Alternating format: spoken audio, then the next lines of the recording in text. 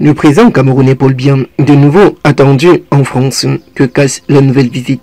Le président camerounais Paul Biya, tellement attendu en France, que cache sa grande visite. Pour plus de détails après le générique.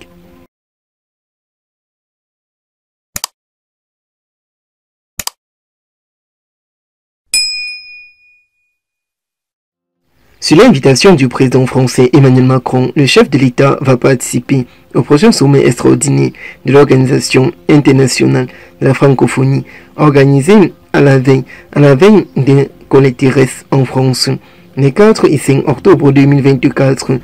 Emmanuel Macron invite de ce fait le président camerounais Paul Biya au Forum de Paris sur la paix prévue du 11 au 13 novembre 2024. L'illustre, l'illustre post-collaborateur de Paul Biya et Ferdinand Gongo l'accompagneront à Paris, juste après sa participation au Forum de coopération sino-africaine. Le président Paul Biya est encore appelé à sortir du beau pays, cette fois-ci pour la France, au mois d'octobre prochain, sur l'invitation d'Emmanuel Macron. Selon les informations de Jeune Afrique, le chef de l'État est invité pour prendre part aux travaux du sommet extraordinaire de l'organisation de la francophonie. Selon Jeune Afrique, le locataire du palais présidentiel Aïdoudim a confirmé sa présence. Malgré que le dossier Ferdinand Gongo et Laurent Issou chauffe sa table, il a confirmé sa présence à ce sommet extraordinaire prévu à Villers-Cotterêts, dans le nord de Paris, au nord-est de Paris, nord du 4 et 5 octobre 2024.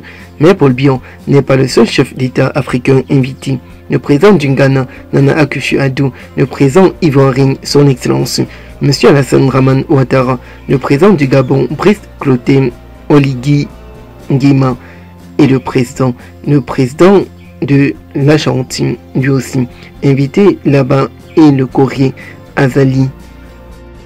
D'autant plus que Paul Biya est confronté par des manifestations chaque jour au Cameroun, en attendant la présidentielle de 2025 que sûrement il remportera. L'affaire continue de monter à bon train au Cameroun. L'affaire judiciaire impliquant une prousse de la présidence secoue le pouvoir présentement. Au Cameroun, ça se dit déjà où il faut.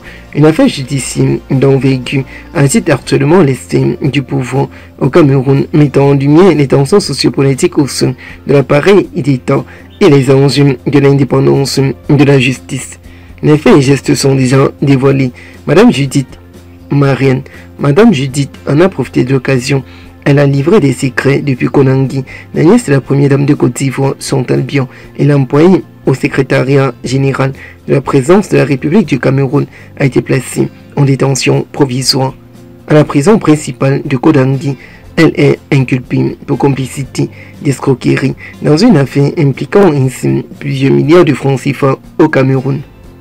Les accusations, la fille L'affaire continue de chauffer la tête du président camerounais Paul Bion, surnommé faux contre-amiral, concernant ainsi les allégations d'escroquerie ou des individus auraient versé de l'argent pour obtenir des nominations ou des promotions sous prétexte de bénéficier de la protection d'un haut conseiller principal. Les chefs d'accusation incluent ainsi la complicité d'escroquerie pour Madame Judith, tentative d'escroquerie pour d'autres personnes impliquées la réaction et l'intervention de la détermination de Madame Judith.